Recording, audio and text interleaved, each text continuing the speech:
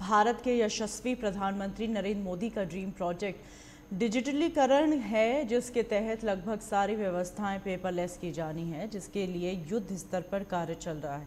इसलिए अमेठी ज़िले के सभी गाँवों को हाई स्पीड इंटरनेट कनेक्टिविटी से जोड़े जाने का कार्य किया जा रहा है, जिससे गाँव की जनता के तमाम सारे कार्य सुगमता से संपादित किए जा सकें, क्योंकि अब लगभग सभी कार्य इंटरनेट के माध्यम से संपादित होते हैं और अभी हाल में ही कोरोना काल के दौरान लगभग दो वर्षों से भौतिक रूप से शिक्षण संस्थाएँ बंद थीं, लेकिन कक्षाएँ ऑनलाइन संचालित थीं। गाँव में इंटरनेट की व्यवस्था न होने के चलते यह सुविधा ग्रामीण बच्चों तक नहीं पहुँच पा रही थी। इसलिए डिजिटल इंडिया के तहत केंद्रीय मंत्री व अमेठी सांसद स्मृति ईरानी के संसदीय क्षेत्र, अमेठी की मुसाफिर तहसील अंतर्गत 24 गाँव को हाई स्पीड इंटरनेट से जोड़ दिया गया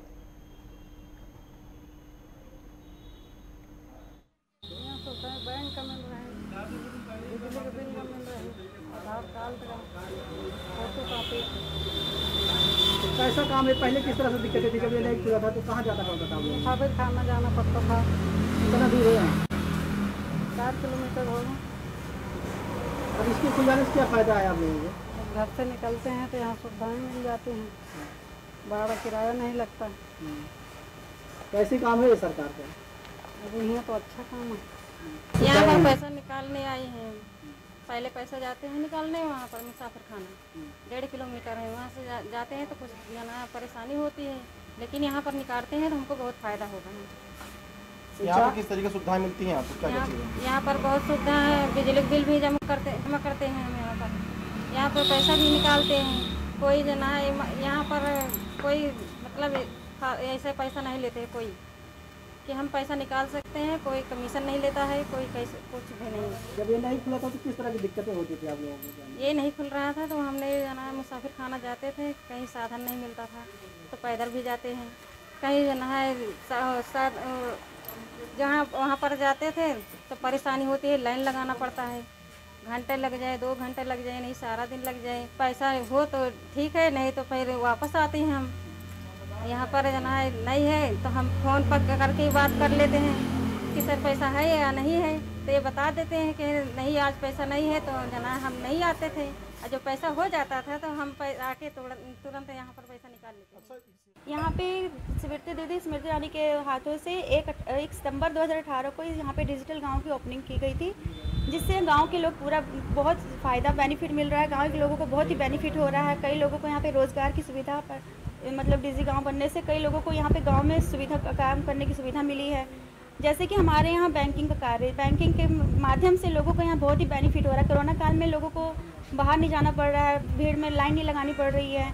लोग आते हैं, जैसे बुज़ुर्ग लोग हो गए, उन लोगों को यहाँ पैसा निकालने जमा करने में बहुत ही सुविधा मिल रही है। हमारे यहाँ आय जात निवास हो गया, पैन कार्ड हो गया, ये सब सब काम की सुविधा मिल रही है। और क्या कहते हैं, पेंशन वगैरह यहाँ पे लोग अपनी बनवा रहे हैं, विधवा पेंशन।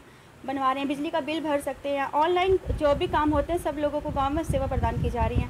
यहाँ पे डिजिटल विलेज एक सितंबर 2018 से स्टार्ट हुआ था। माननीय सांसद हमारी स्मृति ईरानी दीदी के हाथों से यहाँ पे शुभारंभ हुआ था। और यहाँ पे हम लोग 24 गाँव में जो है पूरा फुल्ली वाईफाई जो है लैस है गाँव में। गाँव के लोगों को यहाँ पे पूरी वाईफाई से सारी सर्विसेज़ मिलती हैं। और क्या क्या सुविधाएँ यहाँ पर जैसे लोगों को? यहाँ पे जो हमारा सी का और माननीय प्रधानमंत्री का जो सपना है डिजिटल इंडिया का उसके तहत हम लोग गाँव के हर व्यक्ति को उसके गाँव में ही सारी सुविधाएँ बैंकिंग से लेके बिजली बिल उसको आया जात निवास उसके बाद से जो है उनको किसी भी प्रकार का डिजिटली जो भी उनको सर्विसेज़ चाहिए होती है वो सारी सर्विसेज़ उनके गाँव में ही उनको अवेलेबल होती हैं। कब से यहाँ पे यहाँ पे पिछले तीन सालों से यहाँ सर्विसेज़ ये चल रही हैं यहाँ पे। कितने गाँव में अब तक ये सब तक पहुँच चुकी है? ये हमारे अमेठी जनपद में सारे ग्राम पंचायतों में सारे विलेजेस में हमारे एक सेंटर्स हैं। हर गाँव में हमारे सेंटर के माध्यम से लोगों को सुविधा दी जाती है। ये डिजिटल इंडिया मिशन जो है वो मुसाफिर खाना ब्लॉक से शुरू किया गया है। और मुसाफिर खाना ब्लॉक में अभी तक 24 गाँव में जो डिजिटल इंडिया मिशन के तहत ब्रॉडबैंड पहुँच चुका है। और बाकी 26 में भी कनेक्टेड है, लेकिन वहाँ पर कुछ रिपेयरिंग का काम चल रहा है। और पूरे जनपद में कनेक्टिविटी दिया जाना है, सभी गाँव को इसमें कवर किया जाना है, जो कि दिसंबर 2021 तक लक्ष्य रखा गया है। क्या उद्देश्य है इसके पीछे? क्या किस तरह का लाभ मिलेगा? ये आ, सबसे इम्पोर्टेंट आप आ, सब जान रहे हैं कि जैसे हमारी कितनी योजनाएँ हैं जिसमें ऑनलाइन आवेदन होते हैं और बहुत सारी योजनाएँ हैं जिसमें हम मीटिंग्स भी होती हैं ऑनलाइन होती हैं। तो ये सब गाँव में जो हमारा इंटरनेट को गाँव जो हमारा है वो इंटरनेट से जुड़ जाए ये हमारा मुख्य उद्देश्य है।